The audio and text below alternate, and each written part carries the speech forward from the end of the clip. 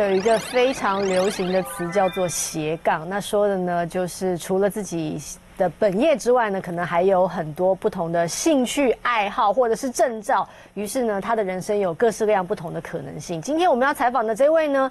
你要说他是斜杠青年，我觉得太小看他了。我要称他为斜杠王子，因为他斜杠的有点夸张。他除了本业之外，有六个工作，还有六个身份。我们来欢迎的是虎克柠檬茶的创办人庄祥清，你好。好，主持人好。你好，好。到底有多斜杠？我觉得我必须要来为大家介绍一下。好，首先你卖柠檬茶。哎，是是，本业本业。本业老板，柠檬茶的老板。对对。然后呢？你是游泳教练？对，大大学的时候读体育系。体育系是是。游泳教练，听说证照有几张？就考了九张证照。好，然后你你你当过街头艺人，你也有街头艺人证照？对，考三张。新竹县新有三张。呃，桃园哦，因为是不同地方的。对。哦，每个地方要重新考一张。对，那街头艺人考的原因是因为，因为我在当街头艺人之前，我在餐厅当过驻唱歌手。然后餐厅，因为那我去唱那家餐厅，生意没有很好。对，然后人很少，就很哦，我就想说啊，那我可以去街头唱歌，人比较多。然后我发现考街头艺人就有一个好处，就是我可以在街头上合法的乞讨跟卖身。被你不知道为什么，其实乞讨跟卖身听起来有点悲惨，可是你说起来就觉得有种喜感哦。我觉得可能这是你整个结合了你整个人的那个感觉。好，好，接下来我就一点一点念哦。跆拳道冠军、救生员教练、立委落选人，好，这个这个单我们后面可以好好慢慢聊。是的，是的。但是其实主要你的主业，对，是柠檬茶的创办人跟老板。是的，是的，做了六年了。为什么是柠檬茶？刚好我大学毕业的那个时候，然后我也一直在思考，说我未来的人生要做什么工作。我就想过，可能就是嗯做表演，或者就是做游泳教练，或者就是演讲当讲师。嗯但那时候遇到比较。现实的问题是，刚好我妹妹要读大学，那必须也要，呃，算是养家活口。因为我爸爸比较早就过世了，那就看到，呃，爸爸曾经遗留下来的一个老茶厂。那我就想说，那如果我把这个老茶厂，呃，接下来用一个比较创新的模式，带着我妹妹一起创业。对，虽然我觉得我可能没有这个能力直接，呃，支付我妹妹的学费养育她，但我觉得我有能力带着她一起去负担她的学妹，我们一起。呃，自食其力，一起起来。那时候为什么选柠檬？是刚好那时候，前阵子应该快要十年前，台湾冻柠茶很夯，但是才夯一下而已。所以一堆农民一窝蜂种柠檬，所以造成柠檬滞销。所以那时候刚好，呃，像那个有一些大品牌公司，他就找了一些网红宣传柠檬的好处。然后那时候就觉得，哎呦。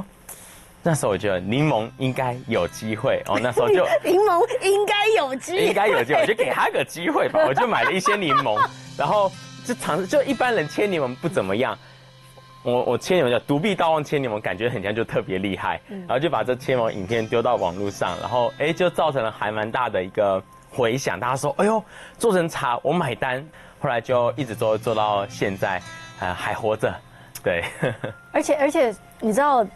因为一开始如果不认识你的人啊，可能就如同你刚刚自己提的，就是会注意到你独臂刀的这个部分。对对对对。可是只要你一开口讲话，大家就会忘记这件事情了。尤其是你又做了这么多事情啊，大家就会觉得说，独臂没有啊，他比我还忙哎，然后能够他的生命的可能性比我还多哎，很多人会把它视为限制。嗯。但我觉得你让它变成是你的特色。对对，这是你很棒的一个地方，所以你才叫虎克嘛。嗯，对，叫虎克船长也是一个很特别的缘分，是在大学的时候，那时候成立一个叫梦想者联盟，然后那时候我就算初代，那时候我们拍一个微电影，他就帮我租了一套虎克船长装，他还跟我说。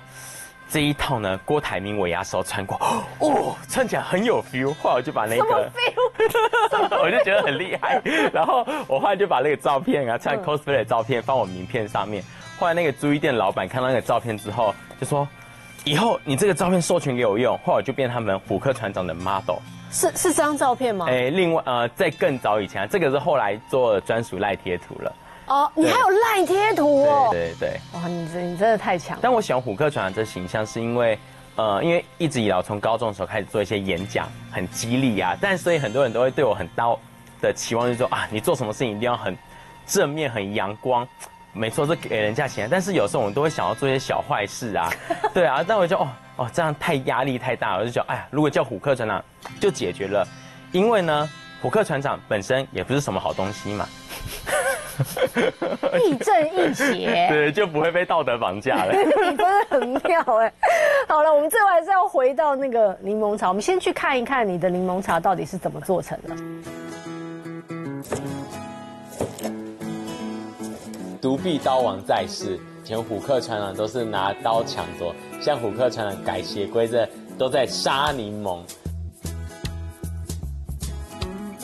差有两个原因，是因为第一个汁在上面太滑，不好握住柠檬；第二个是没有擦掉的话，柠檬会腐蚀我的小鸡腿手，对，就会很不舒服。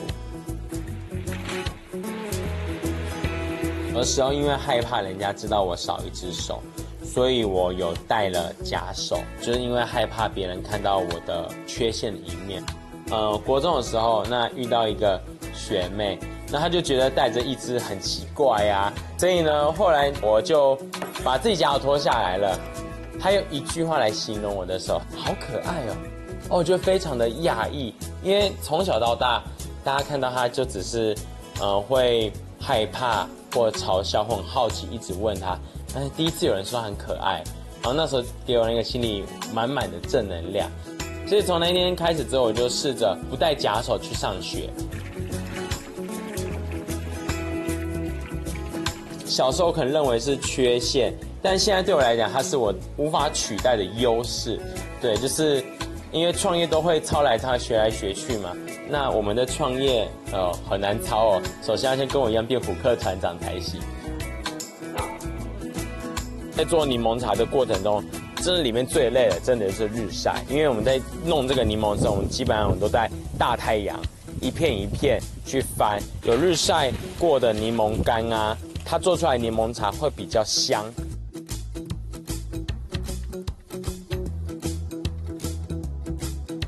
嗯从我爷爷他是种茶，到了父亲这一代他是制茶，我，妈妈嫁过来的时候，他们开始做茶包这个市场。那到他们过我爸爸过世之后，呃，隔了大概五年左右，我接的时候，我跟我妹妹就专心做柠檬茶这个部分，主要是呃乌子柠檬、天菊叶、红茶这三个去把它 remix 搅拌在一起。呃，我们这个柠檬茶是本着我们对于我们父母、父亲的思念、母亲的孝心而制作出来的柠檬茶。当时我们在做的时候，妈妈有胃溃疡，所以我们希望是做出连胃溃疡患者都可以喝的柠檬茶。所以我们在柠檬的选材上，我用的是无籽柠檬。那我爸爸他生前有糖尿病，那糖尿病患者很辛苦，喜欢吃甜又不能吃甜。那我们用的是新鲜甜卷，因为没有做任何的加工跟萃取，就很新鲜，把它。用到我们的茶包里面了，好，就这样子，柠檬茶就完成了。虎克先生，你现在因为一开始的时候，我可以想象说，因为你跟你只有你跟你妹两个人，可能妈妈也会帮忙，所以呃。纯手工是理所当然的，因为可能你们成本也就那些，能够买原材料已经差不多了。嗯，但是你们是到现在都还是坚持纯手工吗？还是已经有找人来帮忙你们做了呢？嗯，它其实是会慢慢的呃演进跟推进的部分。那很多人一直会 confuse 说，胡克，你切柠檬应该用什么机器呀？嗯对，然后但是它这是一个很大的迷思，因为对我们来讲，切柠檬用机器跟手工切，它差不了太多，因为我们机器。我们也是用，就是像我妈、我妹他们喜欢用机器半自动的那种转啊，因为那转的我也不好转，所以如果我自己用，还是用手工切，对啊，切的比较快，我切的比机啊。然后我们有看过那种全自动机器，我们曾经有想要买过，嗯，然后那时候就去彰化看了机器，看完都觉得哦，真的切很快，很满意。就最后老板说了一句话，我就不敢买。他说他女儿因为那机器洗完之后要洗嘛。他女儿去洗的过程中，电都拔掉，突然运转起来，所以他女儿很像也被截到一只手。我说啊，我就说我们家一个虎克就够了，不需要有第二个、第三个，所以我就我们还是乖一点，自己手切吧。对啊。就为什么有点悲惨的事情从你嘴巴里面说出来都特别有喜感？我觉得你你这人真的很有特色。其实真正比较累不是切，而是晒。我们要晒四天，嗯，整整四天。那天气不好，可能还要再多晒个五天六天。的部分，哎，对耶，因为最近天气的确不太好，对啊，雨下超多的，然后我们就是我们常会遇到一个状况，就是呃有太阳拿出去晒，就拿出去十五分钟，我看到蜻蜓飞得比较低，乌云密布，然后有闪电声，赶快毛起来收。对，然后一天我们可能这样子收进来拿出去就十几趟，所以这还蛮累人的。哦，对，但我们也是因为这样的做柠檬的关系，我们学会了看天吃饭，以及我自己觉得我们。预测的比气象比中央气象局预测的还准，自己还掐指神机妙算啊！对，但你当时在创办这个虎克柠檬茶的时候，因为我这样听起来，可能你只是一个过渡时期。嗯，你的人生不是我要，你的人生其实有很多不同的选择。你说可以演讲也好，然后可以继续做教练也好，或者是你有很多的可能性。你刚刚也说了，做柠檬茶很累。但是现在一直坚持的做下去，一定也是你在这里面得到了得到了很多。对，它是一个交互作用。嗯，就是，呃，因为像我们有在做表演唱歌的部分，以前我们都很 care 说，我去这一个活动唱歌价码多少钱。但自从做了柠檬茶之后，我就没有那么 care。原因是因为我去了一个活动唱歌嘛，麦克风在我手上，当我唱完之后，我只要再加一句话。我都是喝柠檬茶保养我的喉咙，所以所以我们会这样交互作用，对，然后 这真的，因为我们前年我们去澳洲参展的时候，因为参展大家卖我们就是呃台湾各个农产品，就世界各地农产品过去，然后那时候去唱没有卖的那么好，结结果就得到了一个唱歌的机会。我就这样唱完之后，啊完之后，哎，我们的柠檬茶突然就变成澳洲外交官的伴手礼，哦，笑你，对，就是想办法就没有关系找关系啊，找到关系就没有关系嘛。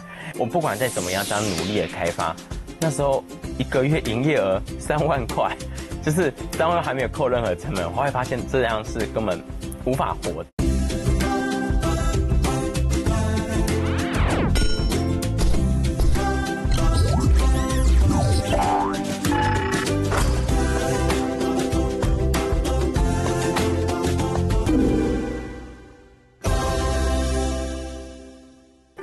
身上啊，斜杠这件事情，我觉得你玩的特别透彻。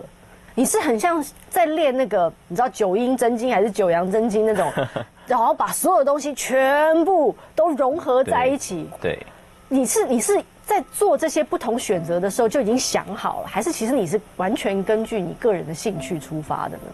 其实这些部分是做了才知道哦，原来可以这样无心插柳柳成枝这样的部分。像演讲的时候也是很妙，因为我其实最早是演讲，我大概十七十八岁的时候就开始演讲，所以到现在二十八岁讲了十年的时间，创业六年嘛，所以演讲资历比柠檬茶更久。但后来发现我创业，呃，做柠檬茶的时候，帮助我演讲是什么，就是我每次最后 Q&A 的时候，小朋友都会问我几个很可爱的问题，他会说：“虎克船长，你有没有女朋友？”哦，就是我 每次问到这里的，这是必问的。然后我就说，来，现场要当我女朋友的举手。当小妹妹可能就那一两个举手，然后我就把她邀请到台上，我说我对我女朋友很好，我就立马送她柠檬茶包。然后大家都很羡慕，我就会说，来再问一次哦，要当我女朋友的举手，就全部都举手。然后我就说，啊，爱情来得太快，就像龙卷风，你们被我打枪了，不用不用不用。然后拿到柠檬茶小朋友，我会教育他们说，回去你记得要泡给。你的爸爸妈妈喝，他们很辛苦。有一次就很好玩，一个妈妈就密我的粉丝专业说：“虎克船长，你知道吗？我家的小朋友长到了国小六年级，从来都没有倒过茶给我喝，他今天进来不一样了，倒你的柠檬茶给我喝，害我痛哭流涕。P.S. 我要买十盒。就是就是这他，我就哦，这是我意想不到的一些。”交互效应，对对对对，所以我就觉得很棒，就是我们自己做的产品，我们又可以教导我们自己可能所教育过的孩子奉行孝道、奉茶，让他增进亲子的互动之外，我就觉得哎，对我自己的事业也很有帮助，所以我会很坚持或很喜欢这些事业，是因为它带给我了很多成就感，以及跟人家。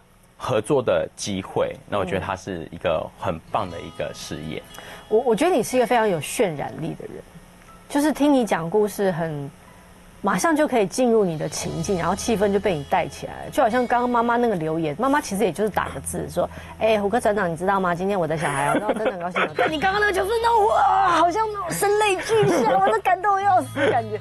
你妹妹是你妹妹觉得你很好玩吗？还是你妹妹觉得你很无聊？我妹妹哦，她相对的比较呃理性。我跟我妹妹差五岁，嗯，那我们现在创业六年时间，呃，我妹妹刚好已经大学毕业了，嗯啊，当然我常一直灌输我妹的一个想法是说，以后哥哥要给你养。你要养哥哥，我要给我妹妹养，然后就一直关注这个概念。所以，对。但我妹真的很优秀，就是她读的是气管系，企业管理。然后现在从今天开始，我们也柠檬茶主要都给我妹管，然后我就负责可能跑一些在外面比较公关的事情。然后我妹就实际掌权了。然后我妹也很霸气，就是因为最近我妹读研究所，我也读研究所啊，只是我读的研究所比较贵，因为在职专班。她说：“哎呀，没有钱。”我妹就很霸气。哥哥，我要帮你出，对，我就好感动哦。对，我就研究所第一学期学妹我没帮我出的，虽然她说要还她，但我不想还她。我们来听听你妹妹怎么说好，我们也有采访她，我们来看一下。没有在培养感情，明明就是在吵架。比起一般的那种兄弟姐妹，我们算感情算还不错的，就是呃很称职的哥哥啦。我也不会把哥哥当做生长者看待，我就是把他当正常人，然后就是你工作多少，给你薪水多少。对。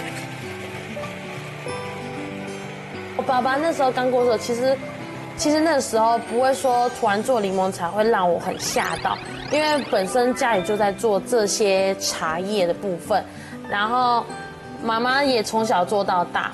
只是说这种形式，可能要是我我跟哥哥去努力去闯的一条的新的道路而已。家人都在旁边，其实也不需要害怕。嗯。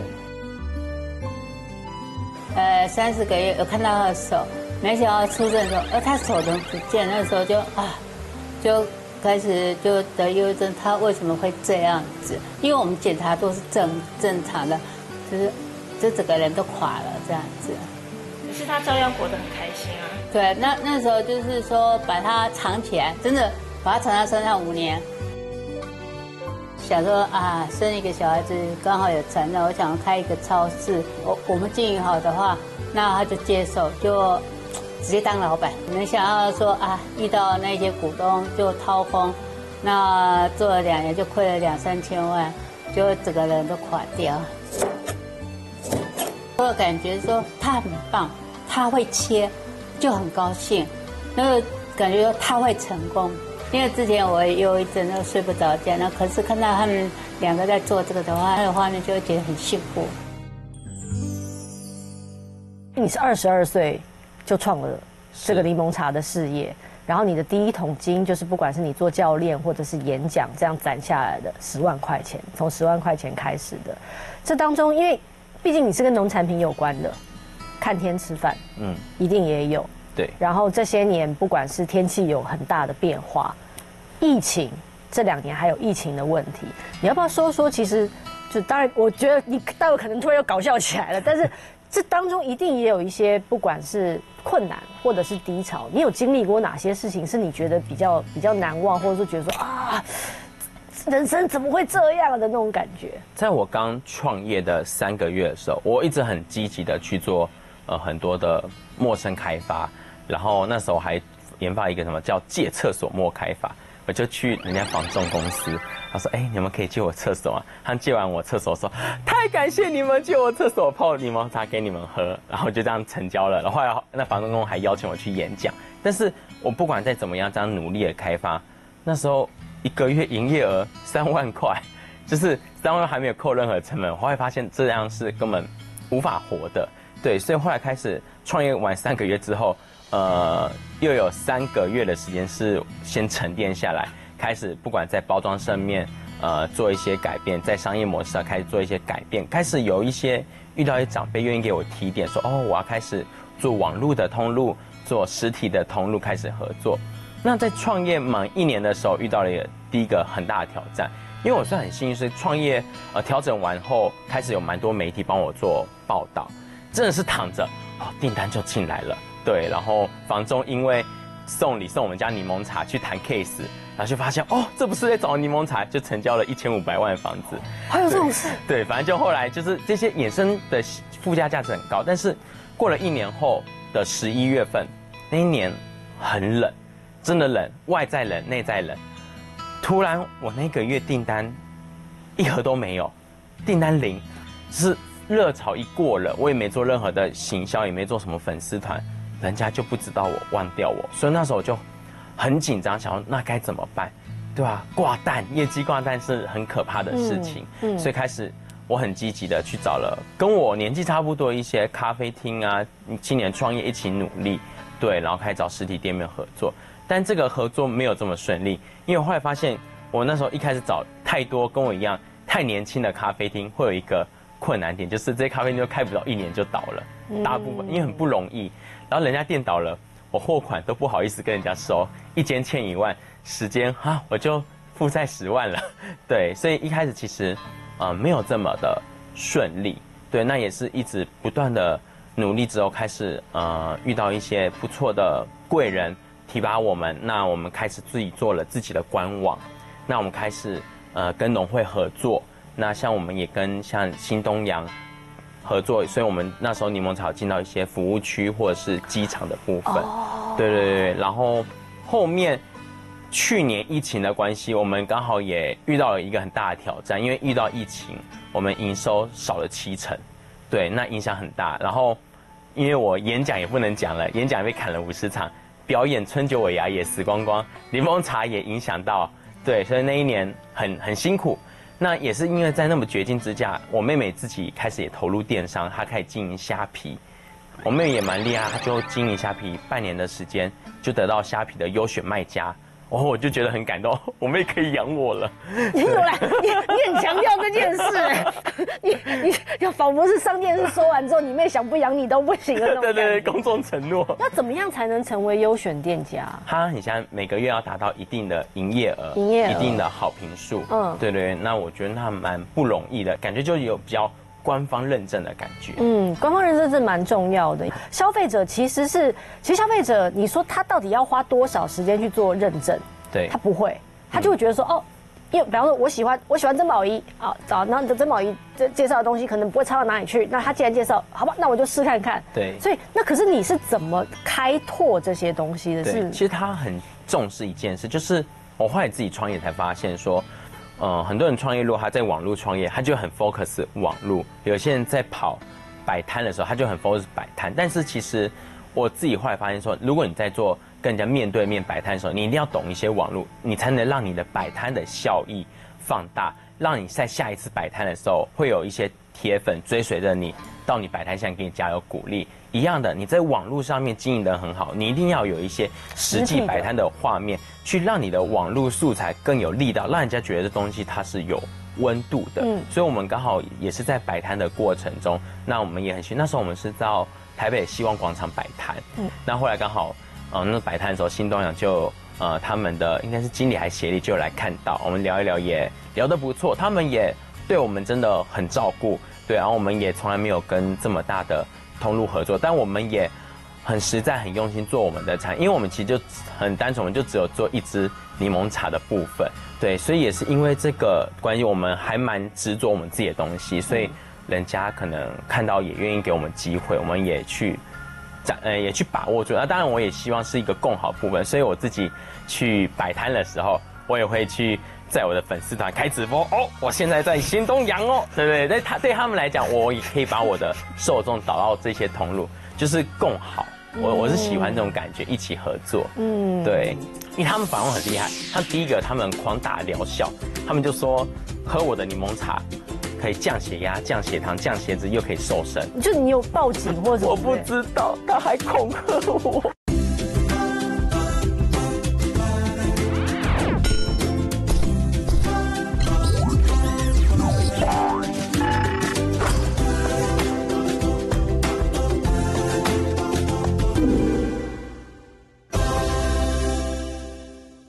且其实你想要更好的部分，据我所知，也现在也有人会把你的柠檬茶当成基底，对，然后它在上面再多做一些变化，对不对？有哪些变化可以跟我们说一下？就是它到底还有什么可能性？对对，嗯呃，很好玩是那时候我们之前有合作一间呃咖啡厅，他就用我们柠檬茶基底做一个水果茶。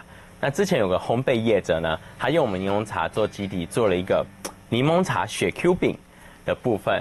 后来更特别是那时候刚好我们有一个呃新竹有一个大厨，他比赛，然后因为我们柠檬茶当基底做了一个什么泰式蒸鱼的部分，柠檬茶蒸鱼，后来拿了世界厨艺银牌，对，然后我就觉得哦很厉害，然后我们自己也很开心，原来他有无限的生命可以去渲染开来，哦，对。而且现在好像因为太红啊，还有人仿冒你们哦。哦，对，这个就是我们最近很吐血的事情，因为仿冒我们的人赚的比我们多很多，他大概两三个月赚到三到六亿。哈？对，我们就这样估算，我就很夸张。不，为什么？他因为他们反而很厉害，他第一个他们狂打疗效，他们就说喝我的柠檬茶可以降血压、降血糖、降血脂，又可以瘦身。嗯。然后第二个。他就说哦，买三送三，买六送六，对。然后因为他们的 IP 抓不到，所以卫生局要罚他们，发不到。然后，嗯，他这些优惠活动，所以我们每天都会接一堆电话，说，哎哎，我要那个降血糖的柠檬茶，我都要跟客户说，哦，我们不是卖药哦，我们没有降血糖这些部分。对，最近更厉害，他还做了跟我一模一样的包装，还包膜，还做了虎克外箱。把我 logo 印上去，我们自己都没有钱做外箱，他也帮我做外箱。对，但你知道是谁吗？就你有报警或者？我不知道，他还恐吓我。他还恐吓你？对啊，他就是在我们网站下订单，说什么我家人今晚会死掉，还是什么之类的，就是名字用这一些。然后那时候有网友帮我们去做留言，说他是诈骗集团，就他还去恐吓网友说：“我锁定你 IP，我要杀光你全家。”我就觉得很可怕。他广告打很大，他打到雅虎奇摩的首页看得到，然后 YouTube 首页看得到，然后一些新闻媒体看得到。就是我每天划一个新闻，会看到五个我的广告出来，然后每看到自己的脸，然后又诈骗集团，所以害我现在照镜子都觉得自己长得像诈骗集团。就因为这样，我们现在对还在努力奋战中。所以这是你想要从政的理由吗？这个是我。后来落选完之后，后来遇到这件事情，我才知道说，哎呀，为什么没有选上？选上就不会有这些，选上我就可以改变什么？因为以前有相关的立委、立法委有做过相关的，呃，开记者会立法，但我们发现都只是做个样子而已。而且我们最怕一件事，是因为他一直宣称疗效这件事情，很多民众买到了假货，然后一直喝，以为可以治糖尿病，自动停药。其实我们。很害怕这件事情，但更深一层，我还抓不到人，不知道要对谁生气。嗯，对，所以这这个事情的确是需要大家一起来正视的。希望这个节目播出之后，能够有更多人关注这件事情。对，好，那接下来呢，我们还是要回到你个人本身的那个生活当中哦。就是虽然你生意其实持续的有在得到很多大家的注目跟支持，但是你原本有兴趣的这些东西。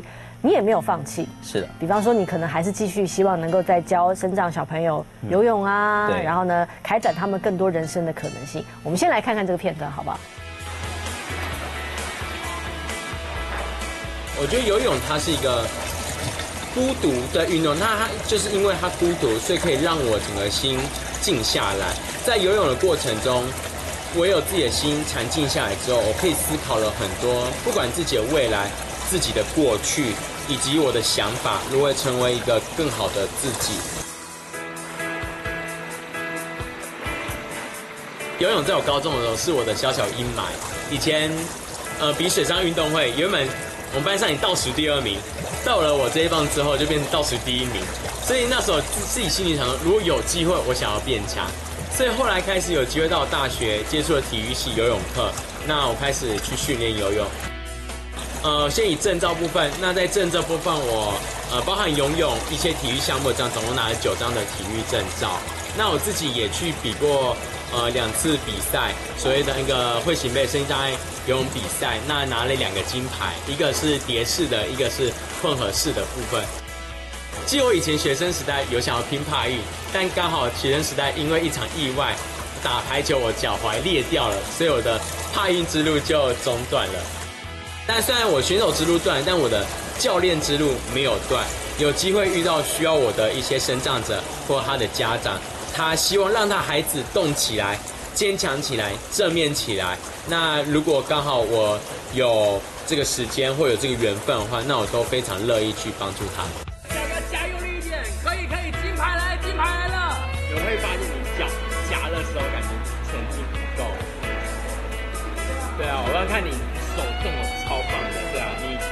有机会可以试着拉一下。哎，像那个立刻胡哲，没有四肢，但也可以冲浪，也可以游泳，所以我就知道说，游泳对于身障来讲，它是一个非常可以被接纳的一个运动。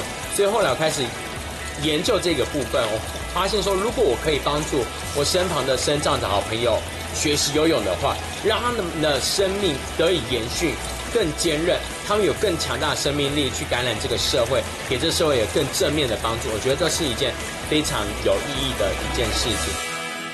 我觉得你真的整个人浑身上面就写两个字，就是励志，就是像你你这样那以身作则。如果说我们常常说我们要分享的话，其实你生命本身的实践就是一种很棒的分享。像你去教小朋友游泳啊，然后他们听你在那边说笑话，或刚刚 刚刚你递名片给我说你还会变魔术啊，然后你会唱歌逗大家开心啊什么的。我觉得其实你都是在用你的生命告诉这些孩子们。不要受到限制，不要失去你对生命的想象跟可能性，而你不需要说教，你知道吗？因为有时候就像我们这种人去演讲，别人会觉得啊烦呢，讲来讲去都是大道理，可是不是，其实你整个人站在那里，它就是一个状态，然后别人就明白了，就是说虎克都做得到，我有什么好做不到的那种感觉？这是不是也是你你想要用自己的生命？分享跟教会别人的那个部分呢？其实后来我自己发现一件事情啊，嗯，我像我自己本身长者，那当然过程中我也是被很多其他的，呃，也是很优秀生长者给激励。因为我有一个学长，他跟我一样少一只手，但篮球打很好，对。然后他的名言就是“没有能不能，只有要不要”。我觉得哇，这一句话非常的有 power，我也觉得很有力道。嗯，所以后来我就也发现说很多事情。它是需要很多的坚持跟信念，所以后来我自己那时候也有做一个贴子，叫什么“我能坚持，你也可以”，去激励很多一些呃小朋友，或者那时候演讲的时候也会去发。包括我自己成为游泳教练这件事情，游泳原本是我很大的障碍跟弱项，因为我高中的时候我们有比那个水上运动会，然后印象很深刻，那时候游得太慢，慢到。我因为我们班上已经倒数第二名了，到我这一棒之后就变倒数第一名，回去之后就被公干，然后同学就呛我说：“靠腰，少一只手来游泳有啥？对，之类就是这样被被被骂。对，所以我心里一直有阴影对游泳。后来大学是因为有机会接触到体育系，我原本是读幼教系，对，然后刚好去修体育系的课，然后想啊，我想要学以前高中的尺血尺，对，所以。事隔了三四年，然后我再努力的去练它，没想到就练一练，练出一些心得。我就想说，哎，如果游泳这个运动，我除了自己喜欢之外，身旁有很多跟我一样身障朋友，他们比我更优秀，更有生命力，但用因因为不能运动这件事情，让他们生命变得很脆弱。所以那时候我就思考说，如果我可以透过教游泳这件事情，让我身旁的身障好朋友一起学习游泳的话，哎，我觉得这是一个。非常有意义的一件事情，所以那时候才投入游泳这个专项，然后转到体育系，就跌破大家的眼镜。真的超跌破！我看你的人生经历的时候，我真的有一种我追不上你的那种感觉，就是因为我我本身也我本身也是一个我是一个智障，就是 就是我有一些肢体障碍，就是我没有办法很好的控制球。比方说每次我们要练丢接的时候，然后人就在那里，我就是会丢到。那里，然后就是有一种手脑不协调的那种。那应该是假动作。哦，你真的很会安慰人哦，你是心灵导师哦。对，但是，但是我其实我我就为我自己生生命设了一个限制，就是说啊，我就是不行了。哦，没有，但你没有，你就是没有不行，就没有你不能，只有你想不想要不要。我觉得其实不管是你在创业这件事情，虽然最近最近可能遇到了一些。小小的阻碍，但是我觉得你走过去之后，搞不好你就可以当上立委了。可能就差这一步，你知道吗？我们现在都开玩笑说，什么叫做品牌？不是你做多大，不是你去国外参，而是你有没有被仿冒？被仿冒才叫品牌。我现在假课我就拖了这个梗。你这、这、这、这、这、这非常乐观，但是我相信你走完这一招之后，你会得到另外一个生命的礼物。因为你知道，你知道这些人有多苦，那个苦是全身心的苦啊，说有口说不出，然后求助无门的那种苦。然后你知道，如果这些公部门没有办法帮助你，他们还有些什么地方的缺失是需要被补上的。然后，如果是要立法的话，到底要立一个什么样的法才能够帮助需要帮助的人？可能你就是缺这个体验，因为你的生命不断的在告诉所有人，就是我体验过了，所以我可以来跟你分享。我觉得那就是你生命最绽放的那个状态跟样子。好，今天我我觉得我承认我学了非常多，就是我我我学我学了很多你的乐观，然后你的你的能量，然后你对生命的各种可能性跟不受限，我真的很谢谢你。谢谢，好，谢谢，谢谢。有些人会说：“哎，你做这么多工作，那就是你这样每个都不会转精。”其实，它是可以有不同的尝试，然后还有你会有不同的面向去看事情。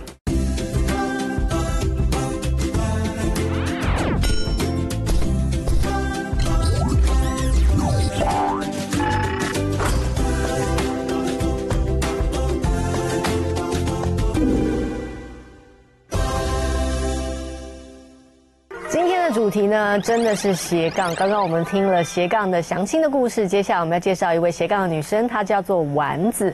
她同时呢拥有五个职业，可是她之所以拥有五个职业，并不是因为她想要赚很多钱，而是觉得她可以透过五个不同的管道跟方式帮助别人。我们来听听丸子的故事。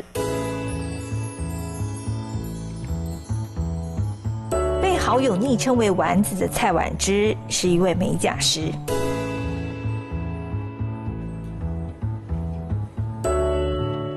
他与朋友一起开设公司，推广身心灵课程。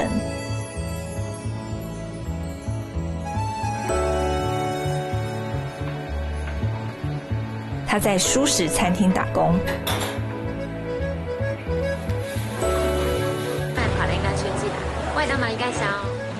呃，这这无改不要紧啦。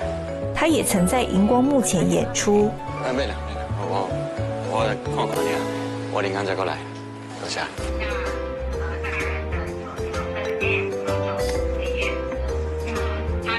而他的韩国商品直销事业才刚起步。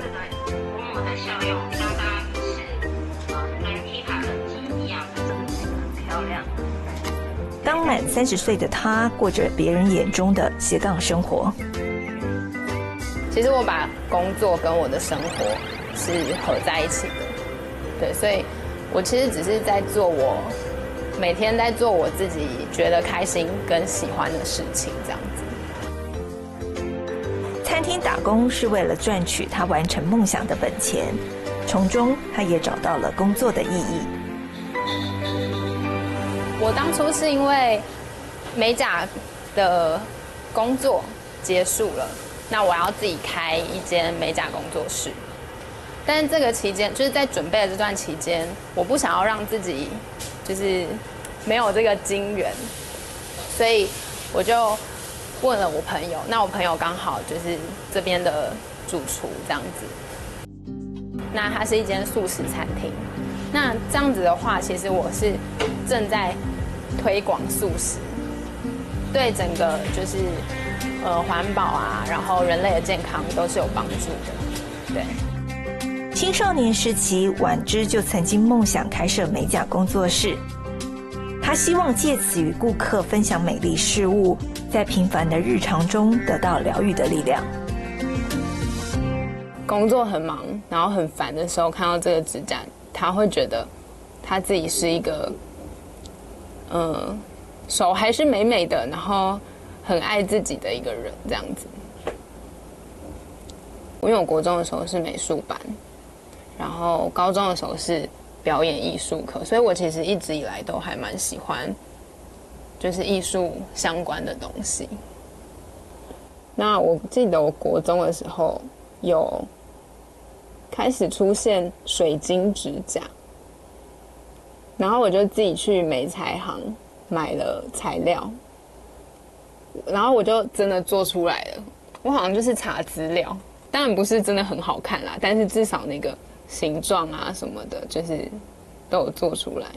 然后直到我，呃，学了美甲，考了证照之后，有一天我在整理房间，我就发现一本我小学的笔记本，然后那个笔记本里面居然有一张美甲店的名片，就是小学的时候在我们家附近。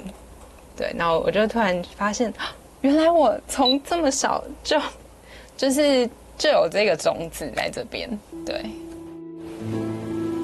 燃点比较高一点。我在工作室就是要迎接客人之前，我就是会做一个这样子自己净化空间跟安定自己的仪仪式，对，算是仪式吧。对，然后这样子的话，其实客人进来都会觉得这个空间都是蛮舒服的，然后也不会一直觉得说啊，我想要赶时间啊，然后我要赶快走啊，就是。屁股痒坐不住这样子，嗯，然后也都会在这个空间，就是跟我相处的蛮开心的。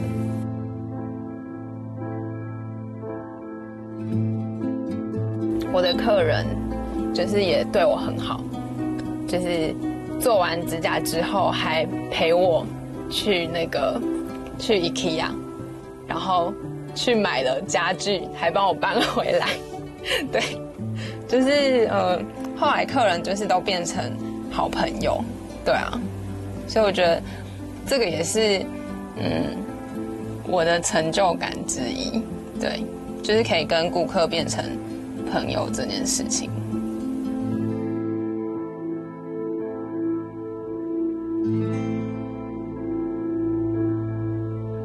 蔡婉之高中毕业时来到著名的丛林道场。当时他正迷惘于该继续升学或是就业，求签的结果却建议他开始接触佛法，于是当下就加入道场所举办的青年营，不仅让他从此亲近宗教、学习打坐来关照内心、平静情绪，也因此认识了几位同好，后来干脆合伙一起推动身心灵成长课程。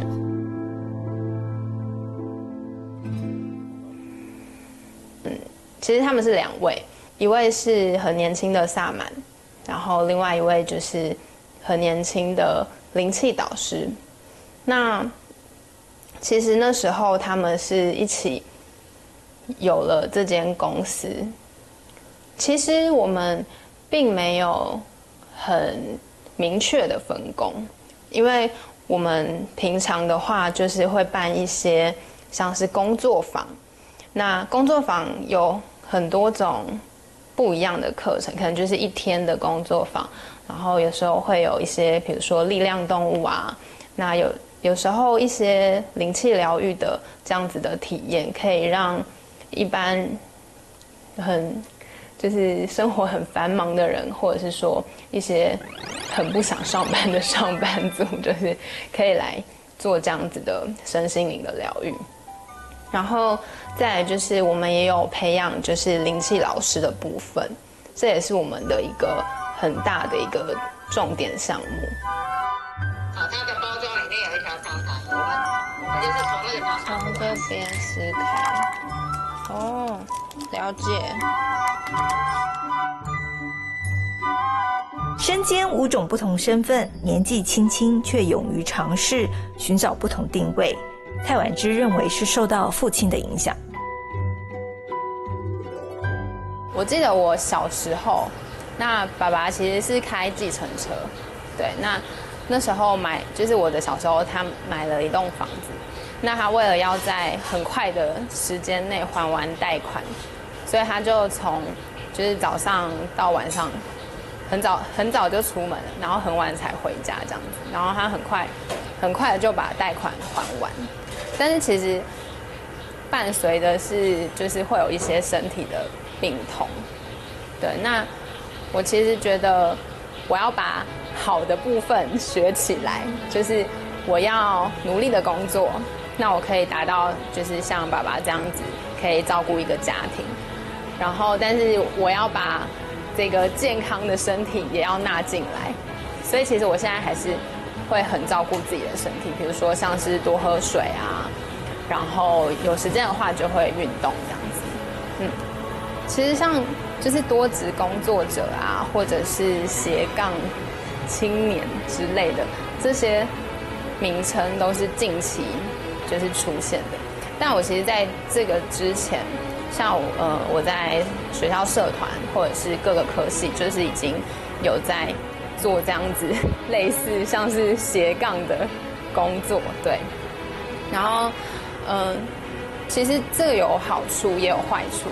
当然，有些人会说：“哎，你做这么多工作，那你是就是你这样每个都不会转精。”对。那好处的部分呢，其实它是可以有不同的尝试，然后还有你会有不同的面向去看事情。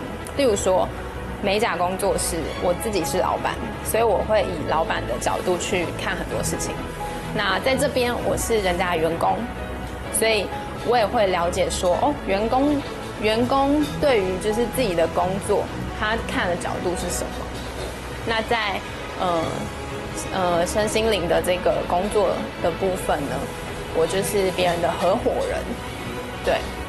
那其实这样子不同的角度去看事情的时候。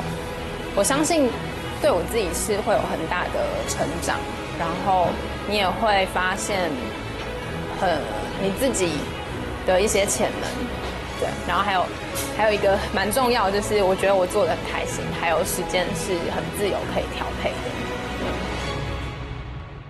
丸子的故事呢，也给了我很多启发哦。我觉得现在年轻人最棒的一点就是，他们不会给自己的生命设下太多的限制，这样他们就有空间可以容许每一个来到自己生命当中的惊喜跟可能性。他们可以成为任何人，而不是成为一种人。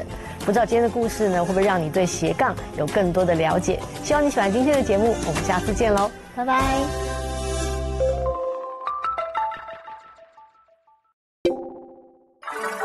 这一套真的，我只能用浮夸两个字来形容啊！